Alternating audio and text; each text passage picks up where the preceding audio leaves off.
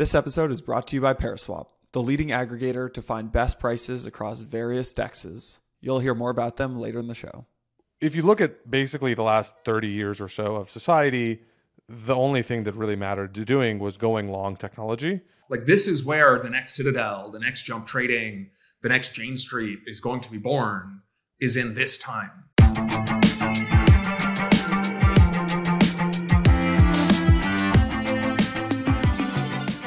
All right, guys, today we have a real treat on Empire. I am here with two folks who need no introduction. Kyle Samani and Tushar Jain, founders of Multicoin, what many believe to be the top performing crypto fund of all time. Their portfolio includes uh, a couple of names you guys might recognize Solana, of course, Arweave, Audius, Helium, uh, Near, I think you guys did as well, Tagomi, The Graph. Um, man, I feel like I could go on and on. Uh, many more top tier, uh, tier one crypto brands. Kyle, Tushar, welcome to Empire, guys. It's a pleasure to be here. Thanks for having us on, Jason. Yeah, good to be Of course. here. Of course. Uh, on your website, it says crypto will create the largest one time shift in wealth in the history of the internet. There are a couple different things coming together. Uh, Tushar, you gave this opening keynote at the Multicoin Summit talking about the open finance renaissance with stable coins and yield farming and composability and DeFi. You also talked about the Web3 vision with NFTs and the metaverse. So, as we enter 2022, I want to get an update on the thesis. What is your guys' general thesis for crypto right now? Hard to simplify it down to just one thesis. I think crypto is breaking into sectors now, and you have, uh, you know, DeFi is different than NFTs, is different than decentralized wireless networks or uh, social tokens. And so I, I think the broad crypto thesis is just credible neutrality and more efficient internet native coordination. Uh, but now we have moved beyond that to sub theses as an industry, I think. I think the best comp in history right now in terms of time of where we are is like 2009 for mobile. Um, where like the people who were like paying attention and like following tech can like very clearly see like this is going to change the world. Um, and that's kind of true. Obviously, we're recording this podcast, so we all probably believe that mostly. Uh, the world at large still is, is not quite getting it. Um, but there's also still a lot of open questions about who's going to win.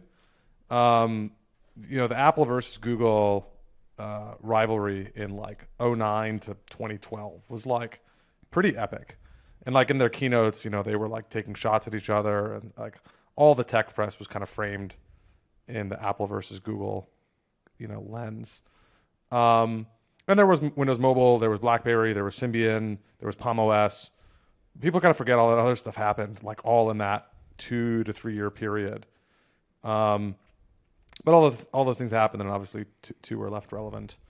Um, I kind of think we're at a similar point in time now, where like the people are paying attention can see this is going to change the world. Um, and but like it's still unclear which platforms are really going to be the dominant platforms. Um, and there's kind of just like an absolute insanity mad rush of like everyone trying to to make sure they are relevant in, in five years. Yeah. Um, probably you end up with two, maybe three that matter.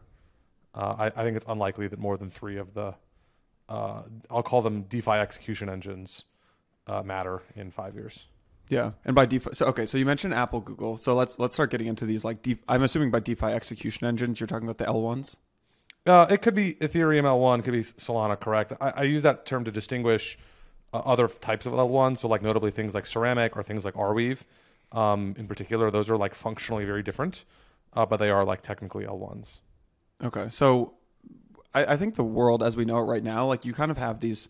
Uh, oftentimes, you have several different companies that are competing each, against each other, and two kind of come out, right? So if you talk about mobile phones, like remember like the Motorola StarTAC and like the Nokia 9000 and the Palm Pilot and like the RIM BlackBerry, and really what happened is you got two operating systems. You got the Apple operating system and the Android operating system, kind of similar in cloud, right? You have dozens of cloud players, but really it kind of converged on like Amazon AWS uh, and Google Cloud, and then I guess Microsoft Azure as well.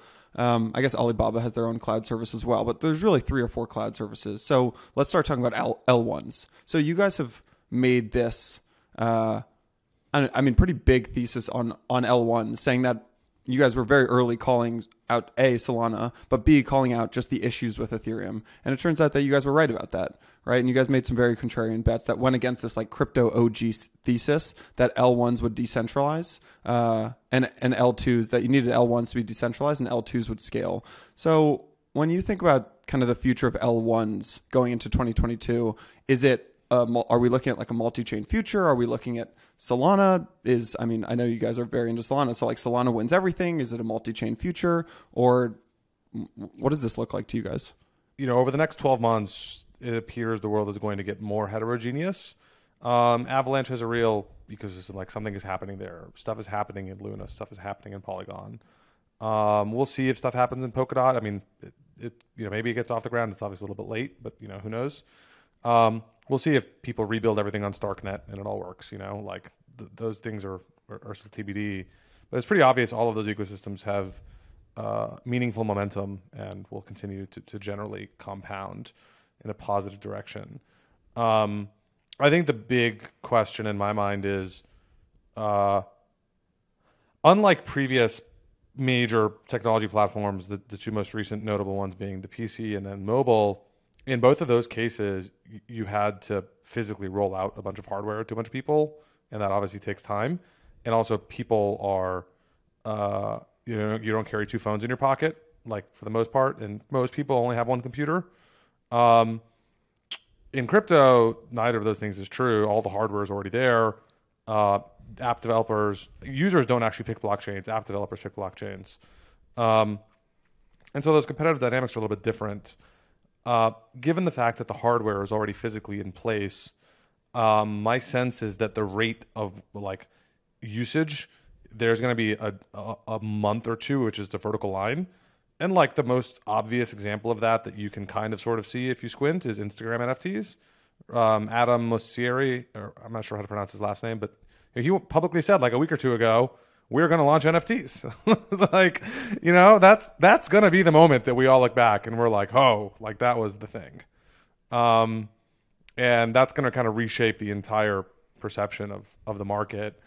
Uh, I have no idea what Instagram is going to do. I don't know if they're going to launch on their own permission chain or if they're going to launch on Solana or on Starkware. I, I don't know what they're going to do. Um, maybe they're going to launch on multiple, but you know, I think people underappreciate the mag how large of an effect that's going to have on perception. Because once that happens, the interest and desire for everyone else to congregate around that that same execution layer uh, will increase pretty substantially.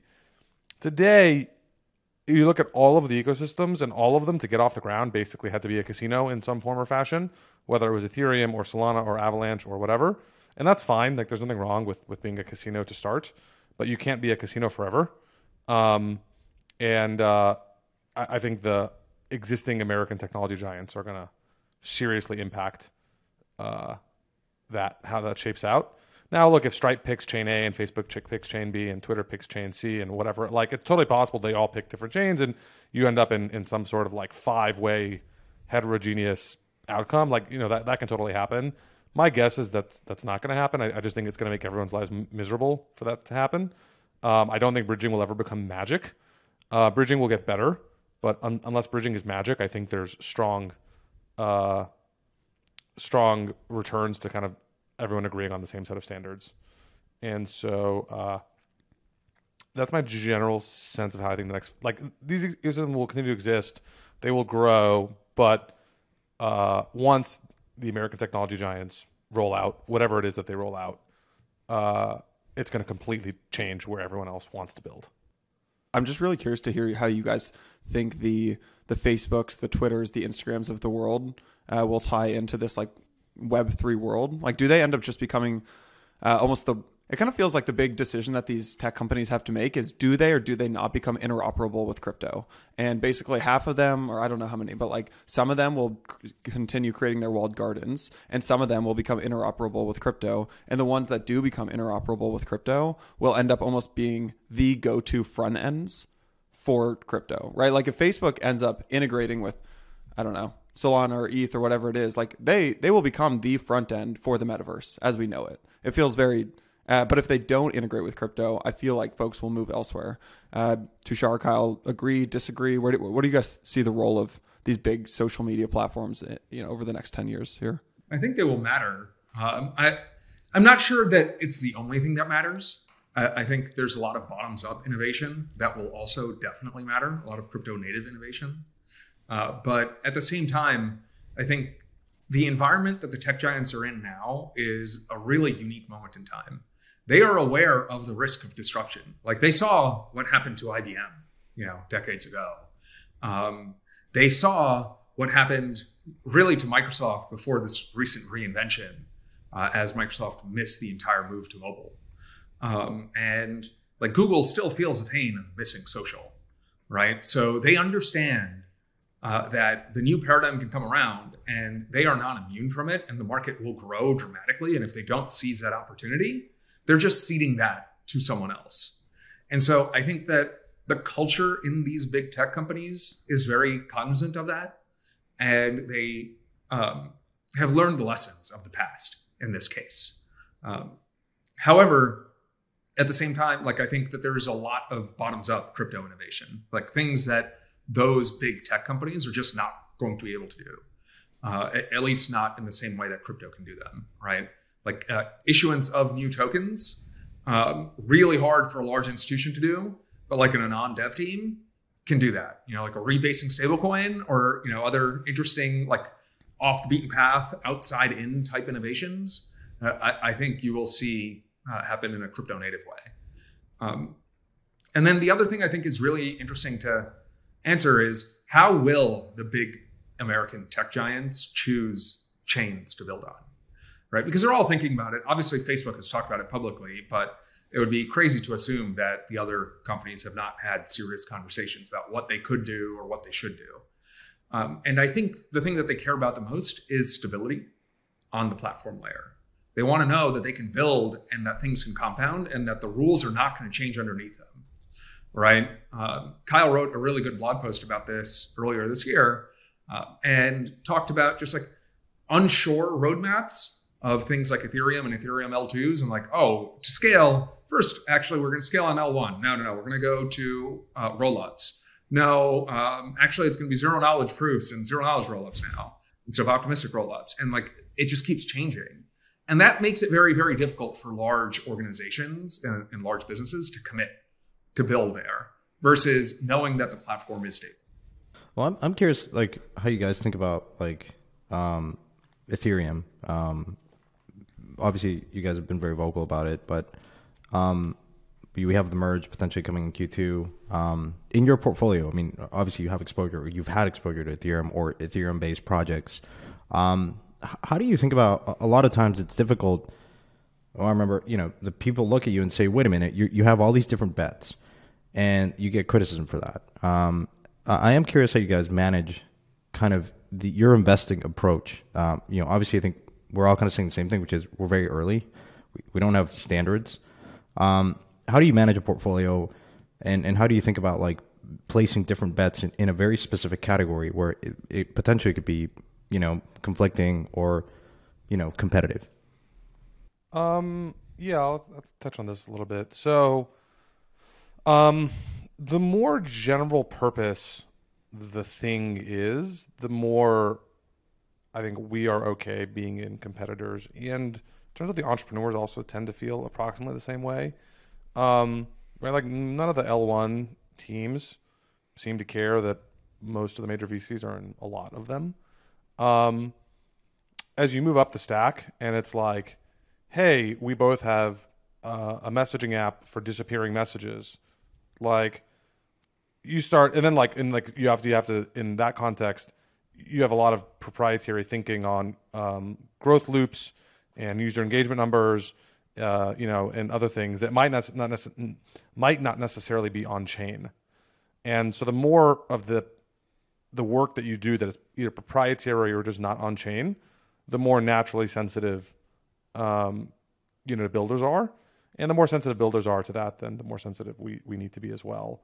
Um, we've been fortunate that for most of the last four years, kind of sort of something approaching 100% of the output of almost all of the teams is completely open. Um, this is obviously true with the layer ones themselves, uh, and it is almost entirely true for DeFi as well.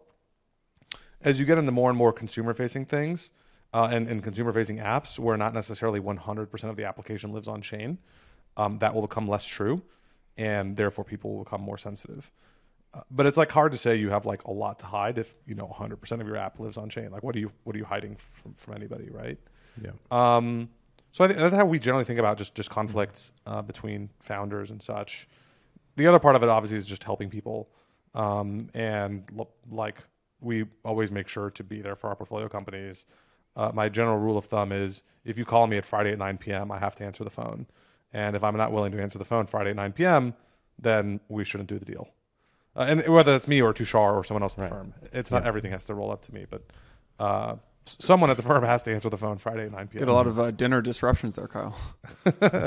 yeah, it's not fun, but this is the cost of playing the game. One thing that comes to mind is you're. It's actually almost like a pivot for the firm. Um, and what I mean, or maybe it's not a full pivot. Maybe that's the wrong way to describe it. But like when I think about multi-coin investing, and like when I think about have had conversations with you guys over the years, like you guys very deeply understand the tech, and you do a lot of like what I'd call deep crypto tech investing.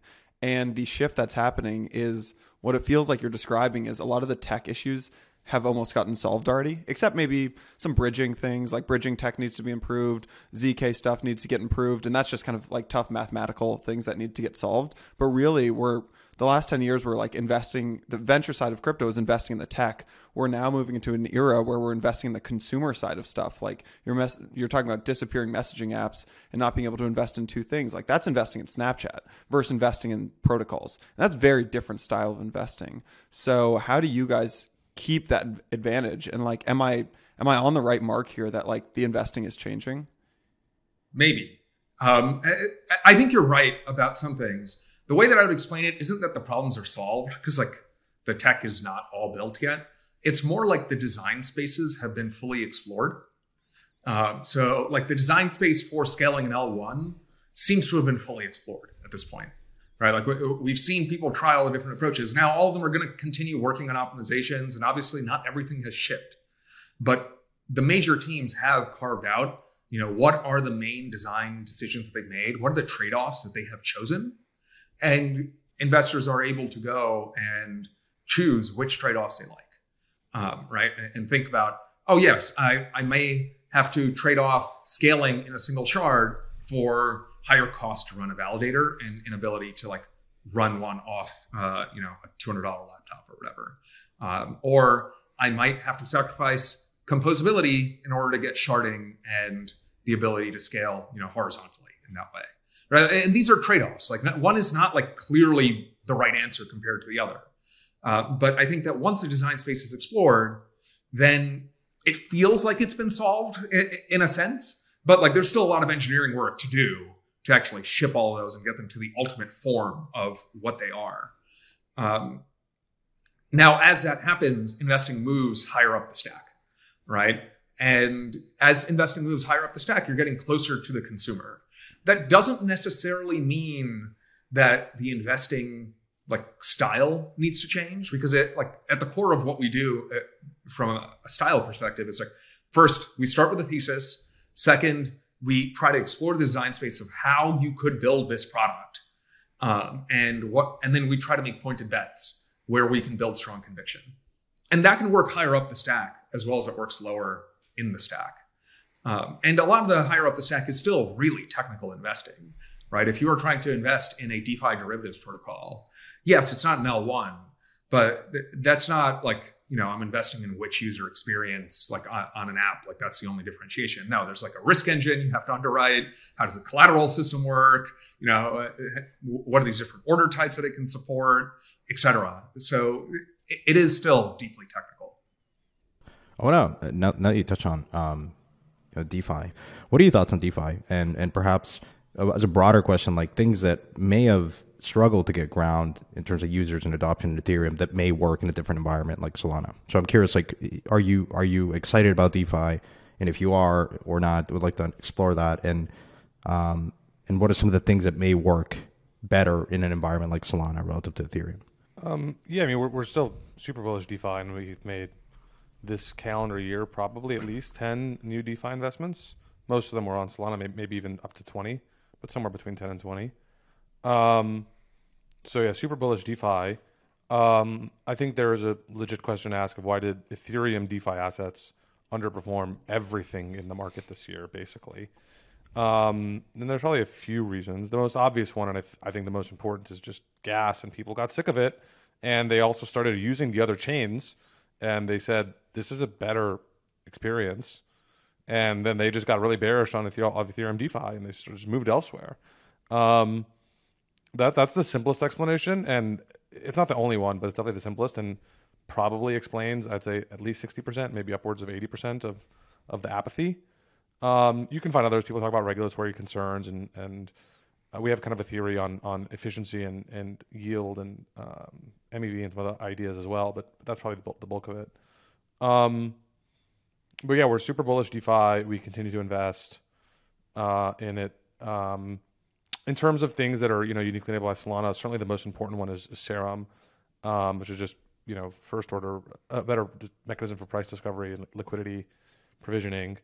Um, I do think actually one of the most interesting innovations in 2021 in DeFi was Uniswap v3. Um, the idea specifically of range orders I find interesting that that you can you can use a fixed amount of gas and simulate what is you know a hundred or even a thousand on-chain limit orders is like a fundamentally useful thing. Uh, I think the Solana community has has undervalued the importance of that. Um, you obviously lose a little bit of precision as a liquidity provider in doing so, but that's okay. You can accommodate for that in spreads. Um, like that, that's not a huge problem. Um, DeFi will always have wider spreads than CeFi um, because of just the mechanics of the nature of the market and how price discovery works and how you cross the spread and all those things. Um, and so I think it's okay. You just want it to be as tight as possible, right? right? Um, but but I think Serum is obviously the most important thing. I think range orders are combined with the Serum style order book are obviously quite compelling. Um, and then I think we're starting to just now see uh, the next kind of wave of things that are, are starting to be things that really only work on Solana and, and struggle on ETH. The most notable of which is options. Uh, Zeta and Psy, I believe, are probably the two most well-known options teams on Solana, and they're building just a straight-up on-chain order book. Um, now those teams are also talking about uh, natively interoperating with Mango, with uh, Zero One, uh, with Drift, and some of the other futures and perpetuals teams. And once you have futures and options, you know, cross collateralizing. Now you have an experience that can rival Deribit. Uh, until then, you just can't, and that means the leverage is not there for the for the market makers and the capital efficiencies posed. So uh, I, am at this point, I don't even think it's a question. Like option DeFi options will take off first on Solana. I don't even really see a path for it to happen on Ethereum, um, and you can already see the, the inklings of it on, on Solana right now. Um, and then the kind of the ultimate step of all of the above. Um, is uh, really building a DeFi native prime brokerage. So in my uh, presentation at the Multicoin Summit a few weeks ago, I highlighted this specifically, where you know as you have more and more liquidity venues, you've got more and more derivatives exchanges, more and more types of derivative contracts. You want them to all natively composed with each other. Um, and there are now at least two teams on Solana working on this. There's MarginFi and another, I think, maybe even one more. Um, and I think it's going to be very exciting as, as people start to appreciate the power that a random retail person will get access to the same degree of sophistication in, in prime services for, for cross margining across a range of venues as JP Morgan provides to Citadel or Morgan Stanley or, you know, whatever to any hedge fund. Um, and like that democratization of access to margining and, and prime services is like going to be really cool. Um, the closest thing retail has to this day is probably interactive brokers, um, which is which is clunky and, and, has its own set of problems. Um, and I'm pretty excited to see that that happen. Uh, Tushar, I don't know if you want to add anything to that on, on DeFi. Um, I have some alternative theories here.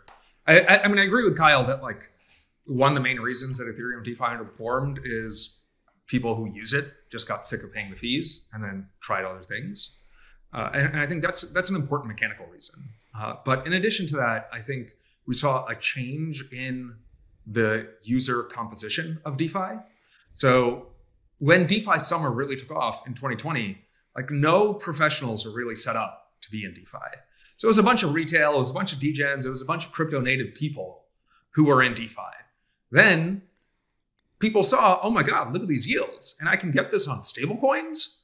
That's amazing. Or I can go and borrow this asset and, and get this yield. Or, you know, if you're getting yields 50, 60, 70, 80%, that's extraordinarily attractive to a class of professional market makers and liquidity providers who have access to capital in the, you know, low single digits, mid single digits range. And so they came in and they ran the ARB in massive, massive size. And we're talking about billions of dollars of size. And as they come in, the retail holders, the crypto natives, they were holding the governance tokens that they farmed. The pros don't hold those tokens. They sell those tokens. They are seeking yield. They are professionals. They are not speculating. They are here for yield specifically.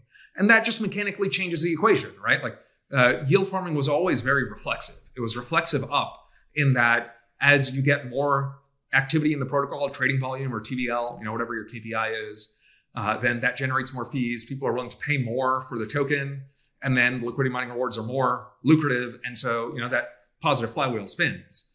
But then as soon as the pros started showing up and selling the tokens, and the price of the uh, of these things start to go down, well, that reflexivity starts to break, and I think that that has been a major cause of the DeFi underperformance was an over reliance on liquidity mining. It was just it, you know everyone just kept looking at oh man, I just turn on liquidity mining and the numbers keep going up. This is amazing.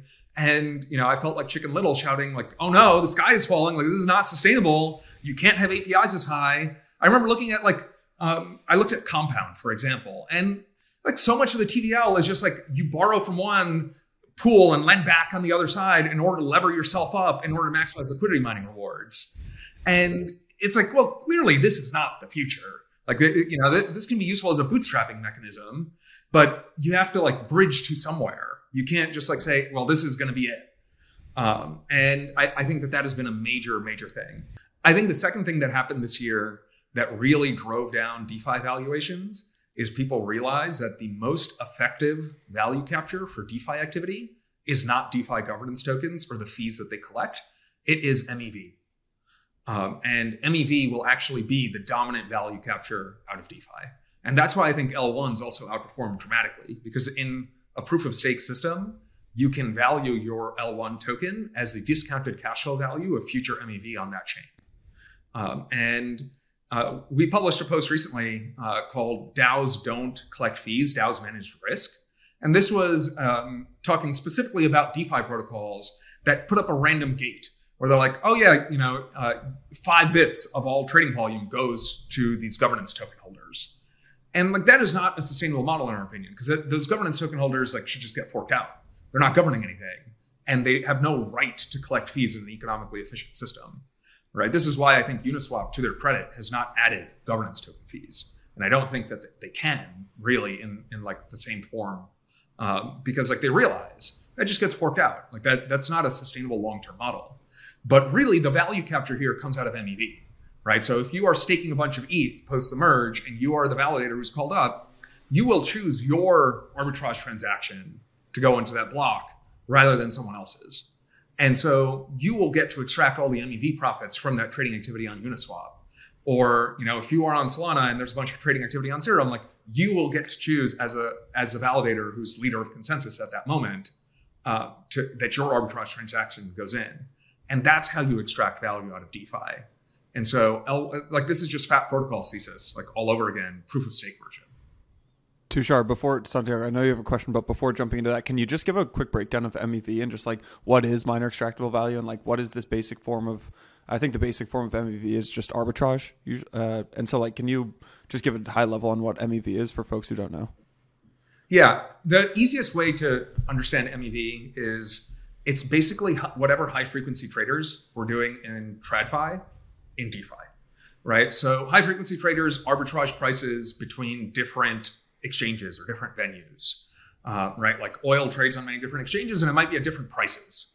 And so, you know, they want to bring that in line or they're bringing things in line between futures and spot.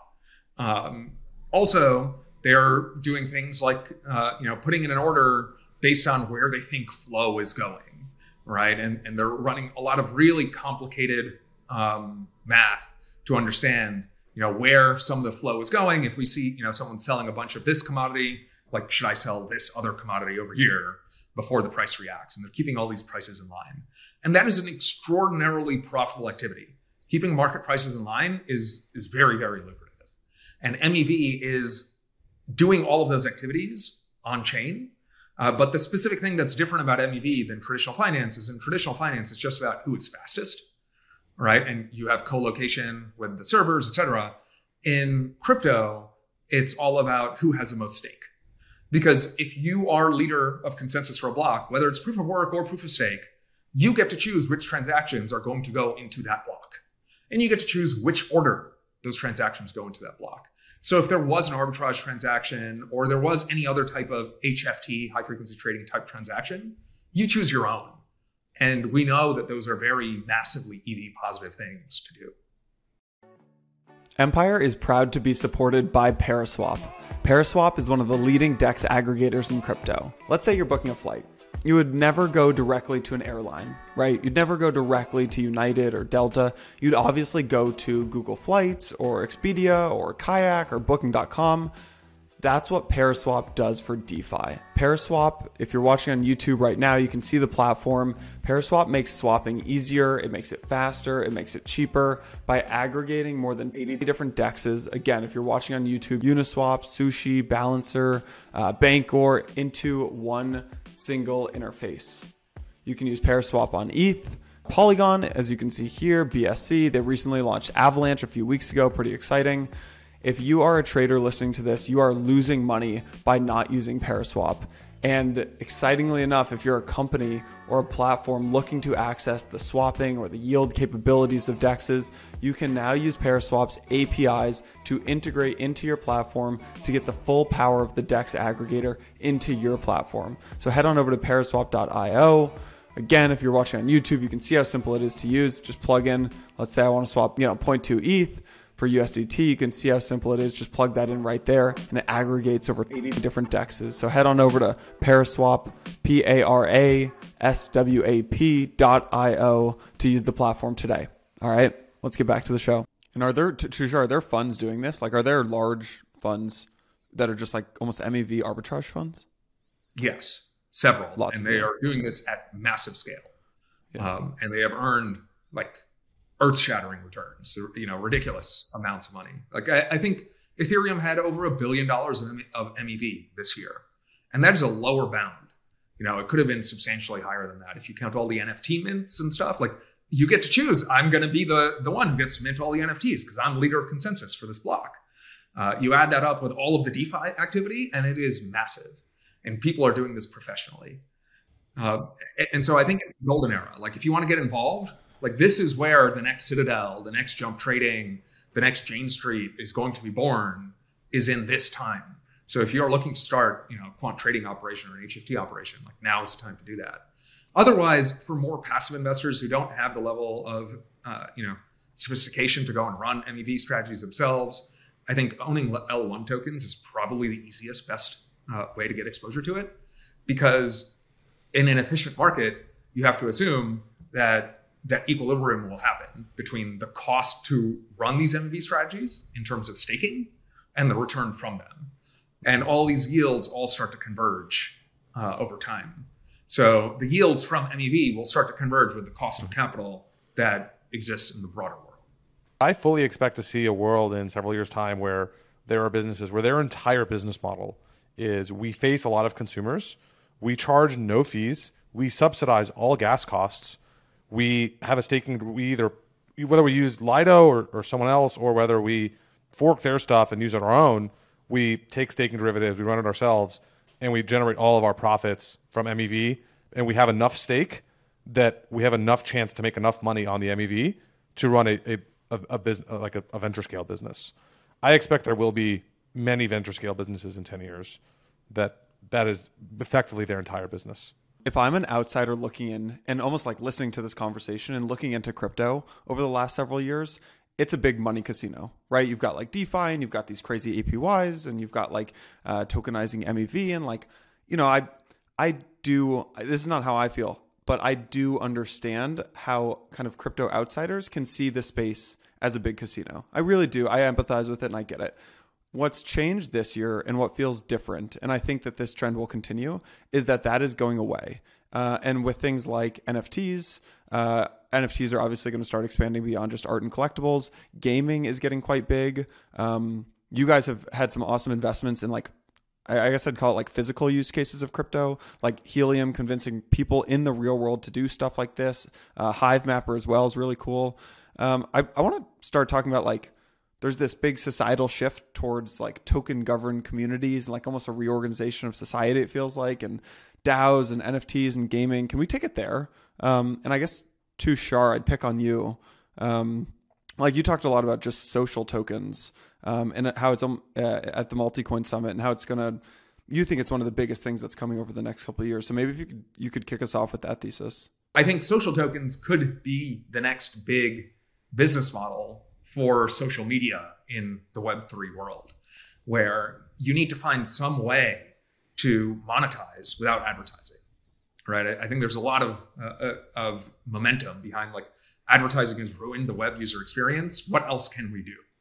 Um, and this is one potential thing. And if it turns out to replace advertising as a primary business model for social media, like this is a trillion dollar asset class right there. So we're very excited about the potential for social tokens. It is still extraordinarily early in that life cycle. Uh, so it's very hard to say who's going to win.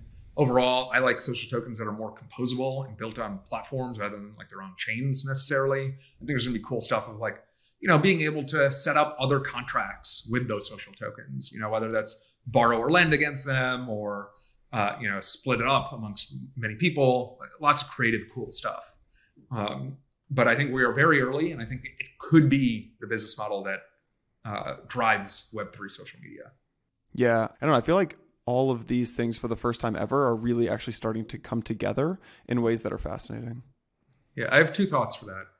Um, one is a meta thesis on why all of this is happening. I think it's because attention is the only scarce resource, really, uh, in a post scarcity society. And as we continue to move towards being a post scarcity society and economic efficiency continues to increase, you have more automation uh, in the economy generally, you have to find ways to monetize attention. And so communities are that thing. Um, so, you know, that's why I think you're seeing this movement towards DAOs and towards social tokens and all this stuff in the middle of COVID when a lot of people are at home, not working, right? Like it, it I think this is a major social shift. And as we see more automation in the economy over the next few decades, I think attention becomes more and more valuable because it's the only thing that's scarce. Um, and then the other thing that I would say to, to respond to is just like DeFi so far has been a game. Like you talk about gaming and you talk about DeFi kingdoms, and I'm like, you know, actually, I think playing the DeFi game on Ethereum and DeFi Summer last year was more fun than playing Axie this year. Uh, right? Like both, you did them to make money. Like no one was playing either of them because like they were fun. But like the puzzle of like what is it? What is a Y A V E C R V token? And like what should I do with it next in order to you know enhance my yield even further? It was like a more fun game, honestly. So like it all is kind of a game right now. The question is like do you portray it as a game with DeFi on the back end, or do you portray it as DeFi with the game in the back? Yeah, right. now, like which order do you portray it as? Tushar, you've been you, you tell me that I've been playing game for the last two years. I thought I was a professional investor. hey, I'm right there with you. we talk about play to earn. Um, obviously, there are challenges associated with that, where most of the games in Web two rely on on spenders, right? I mean, like ninety eight percent or ninety nine percent of revenue these games rely on a very small percentage of users that come in and spend a bunch of money. Um, do you think that gets ever solved? Like, um, one, are you bullish on this category of play to earn? Um, or do you think that we're just seeing the very early, kind of very basic instantiations of games? And and and and where do you think this kind of movement really goes? Um, can you you see some like Mark Pincus start start get interested in, in Web three? How, how, real is it? Because there there are obviously folks out there that are critical of it. Kyle, I think I've heard you say you know, no, as soon as you embed this work element to a game, it stops being fun over time. I think, kind of going forward from here, actually, the kind of right mental model is just like Roblox and like metaverse things. You're just really creating environments where people want to spend time because they're bored. Um, some people want to build things in Minecraft. Some people want to have a thing that looks like The Sims. Some people want to shoot their friends in Fortnite, whatever. Um, and you're going to have more and more environments where there is resources to be gotten, and those resources will require time to produce time and, and clicks on the screen. Uh, and there will be markets that will emerge among people, right? Like valuing their time. And that will happen in very, very large scale. I, I could definitely see a world in 20 years in which there's like 500 million people who like that is their primary source of income. Yeah. Yeah, I would say something else on play to earn, just real quick. It's play to earn to me is not a category, it's a tactic, similar to liquidity mining. You wouldn't call liquidity mining a category of things. It is a user acquisition strategy, and it's a bridge to get somewhere to an economic e- equilibrium that is sustainable. Um, and so, just like, I mean, I wrote a post last year exploring the design space of liquidity mining for DeFi protocols. And the key takeaway was like, if you pay people more than it costs for them to like do an action, they will do it until that reaches equilibrium and you are not paying them more than it costs. Uh, And like professionals will show up and they will arb that. So if you're going to use play to earn, like I would say, use that as a tactic to get to some longer term goal and equilibrium, but it's not a category. Do you guys uh, think about NFTs? Do you invest directly in NFTs, um, or do you just play kind of the infrastructure layer and you know marketplaces and things like OpenSea?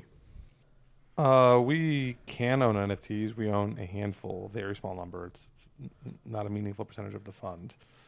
Do you personally, Kyle? N- not in any m- meaningful sense of the word. No. Um, I once I buy a screen for display, art display, then I will probably buy some art. But uh, I don't really care about apes versus punks versus m- monkey business or whatever. I, I, I just I don't that that's not my cup of tea. Um, but I do like fighting with people on Twitter. That's very fun. It never gets old. Well, I, I know we got like a few minutes left, guys. Um, I do want to, I do want to kind of zoom out a little bit and and just you guys have been around in the space for quite a bit of time. I remember when I first discovered you, Kyle. It was it was uh, through your writing, um, which is you know to me it was it was very different at the time. Like you know, very few people kind of sit down and think about theses and and stick to them. Um, I'm curious, like just for folks out there, like what have been like your you know your learnings over the years uh, in this space, uh, which feels like forever. Um, like your key takeaways, like you know, and it could be for builders, it could be for new capital allocators, it could be just for anyone that's listening. Like I am very curious to get to get that knowledge dump because you've been through a lot. Yeah. Um, I mean, there's different answers. I would say my single biggest learning from an investment perspective was don't trade beta, right? Like trying to time tops and bottoms, uh, I think is fundamentally impossible, really. Like you can run a profitable liquidity provision strategy, right? Like you're a liquidity provider and you're staying net neutral basically and collecting the spread, like that can be very profitable. If you're trying to trade beta and just be like, oh yeah, I think Bitcoin's going to top here at 6,000 because it's like double the bottom or, you know, whatever. Like I, I just, I think that is very, very, very hard to do in any sort of discretionary way. Um, and it's easier to stay long and focus on asset selection. That's probably been the single biggest shift that uh, I've had in my thinking as an investor is like, no, if you are long the asset class, be long the asset class, focus on asset selection, trying to time tops and bottoms is just a fool's errand. And you're wasting your brain cycles thinking about it. How, how quickly do you change your thesis? Like, are you re-underwriting your thesis? Like, for instance, something like EOS or something like Solana, or like you're constantly processing new information, but you know, in crypto, it, it's sort of liquid venture. It allows you to exit a position relatively gracefully, I guess. There's ways to do that. Um, how quickly do you change? Like, you've stuck with Solana over the years. Like, that was pretty impressive to see that. Um, but you know, how willing are you to constantly move quickly and decisively when things are not panning out? Our general rule of thumb is we review the thesis underlying every asset in our funds once a quarter. If your time horizon is measured in years, it's unnecessary to do it on any higher cadence than that. In fact, you could make an argument you should go to twice a year instead of four times a year, but whatever, that's that's fine. We do it four times a year. Um, and you know, as when we do those reviews, the question we're asking is like, is the thesis invalidated? Basically, um, and there are many ways the thesis can be validated. That we can discover the market turns out to be not, not existent, right? It can turn out the team didn't execute. All kinds of reasons a thesis may not work. what's important to, to d- distinguish is the difference between a market thesis not working and an execution of a thesis not working. We buy things with an intention of holding them forever. That doesn't mean we will end up holding everything forever. That is obviously not going to be the case. But we enter with an intent to hold forever. Um, if you look at basically the last 30 years or so of society, the only thing that really mattered to doing was going long technology. And there's been different sectors of it and, and whatever software and the internet and, and clean tech and such. But if you're right about a thesis, it typically ends up that that thing just kind of compounds at like a pretty healthy rate for minimum 10 years and oftentimes 20 or 30. Um, and so like just let it things compound. Um, it is obviously the most tax efficient way um, to, to, grow wealth, and, and, people definitely underappreciate that. Um, and just let let things grow. Um, I really do my best to not look at prices, and you know, the more you look at prices, the more you get tempted to sell. If you just don't look at the prices, you don't think about selling very frequently, uh, and uh, just just let things compound. Mm-hmm. Obviously the price in, in and of itself is an input into answering the question is my thesis invalidated? In the sense that you're relying on the market and other people to say do they believe my thesis or not? Um, i think most other i think it's kind of a deep human psychological need to want to feel like you're part of the club or part of a, a club i should say and that other people agree with your, your thesis. So being uh, the, the lone the lone wolf for too long um, feels quite painful um, kind of you know psychologically uh, but you just have to be honest and say, is the core thesis invalidated um, or not? And I, would say price. We internally almost don't use price as an input into that question. I won't say it's zero percent input, but it's definitely a very small input. Um, other people seem to weight current price substantially more highly on answering that question: Is my thesis invalidated or not? And that's probably uh, one of the things I think we do most uniquely just to add to that, I, I, just want to say like most of the returns in investing lie on the tails of the return distribution, right? It, it's just like it's all on the mega mega home runs, and really those are the only things that matter in an industry like crypto that is basically all venture type investing, right? Like whether it's public markets or not, like these are all very high risk, high return type opportunities out there. Uh, so all the returns are in the tails, and the only way to capture some return that is in the tails is by sitting and letting it compound, right? Uh, otherwise, you're going to sell too early. And it, it just like every time you sold early and you were right and the price went down versus the one time you were wrong and the thing went up 100x from there, right? Like you just need to weigh those things against each other. Kyle is very right about the, you know, we don't look at price. Like actually, my New Year's resolution for this year is every time I look at price that I'm not trading, I have to do, you know, 10 push-ups or 10 squats. And it's just like, you know, get to work on fitness and health while also reducing looking at prices. Man, Tushar, I feel like if we get you on next year, you'd be Mr. Olympia. that, then that means that I've uh, done a bad job of adhering to the resolution.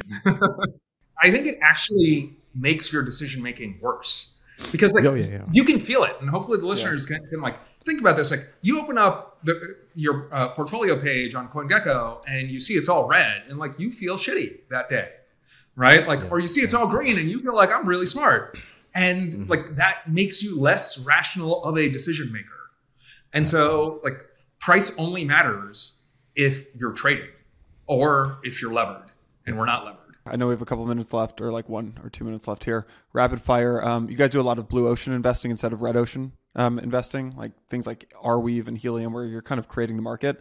Uh, first question: What will we see next year that, like, in the blue ocean front that we just have not seen yet in crypto? Kyle, maybe if you want to start.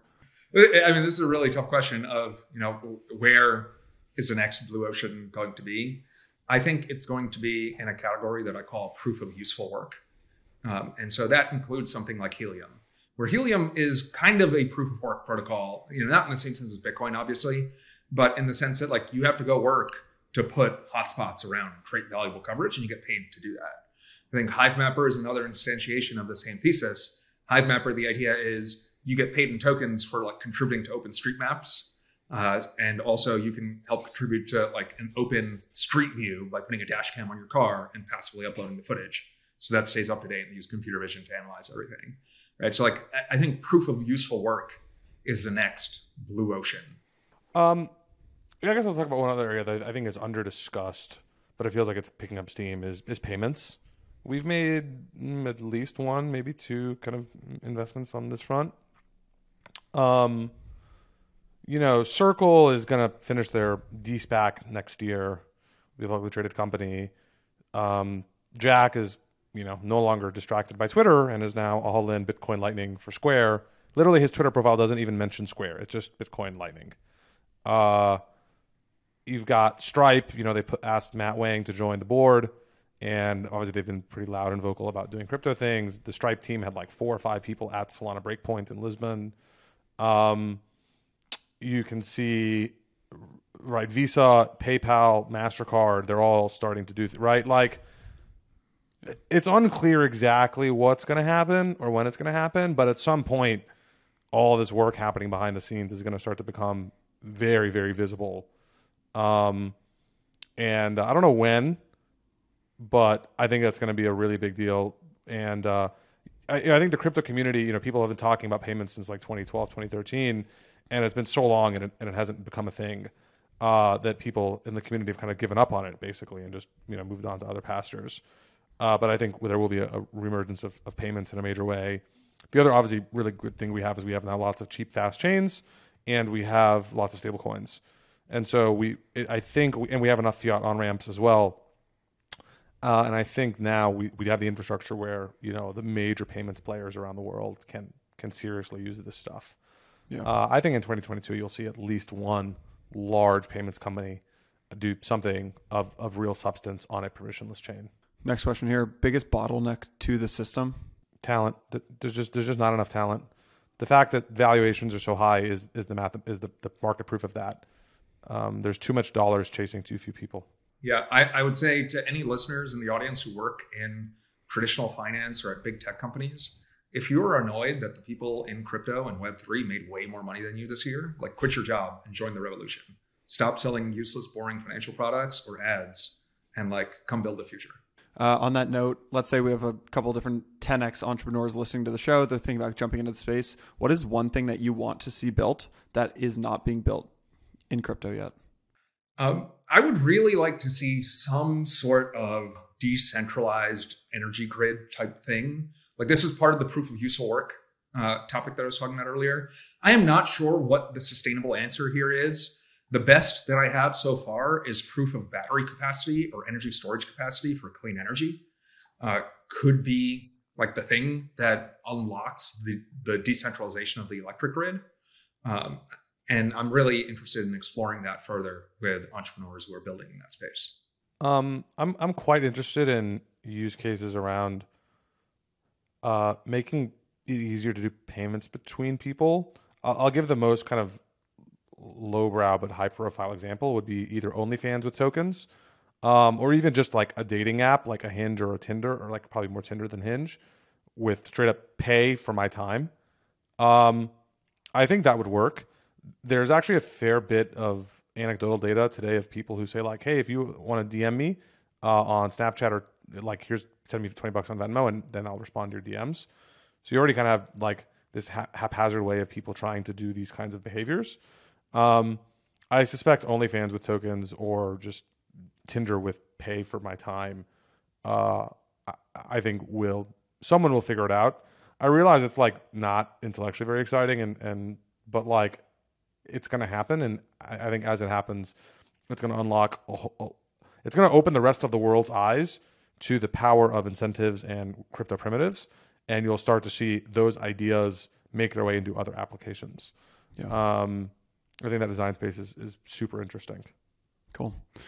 All right, guys. This has been uh, an amazing episode. Appreciate you guys coming on. Want to just check anything else you guys want to add here? No, I think we covered quite a lot. Thanks for having us on and good chatting with you both. Cool. Listeners, I would really recommend three things. One is go to multicoin.capital. Uh, they have you can actually subscribe to their newsletter. I'd really recommend that. Bunch of must read blog posts. Two, Kyle's on Twitter at Kyle Samani.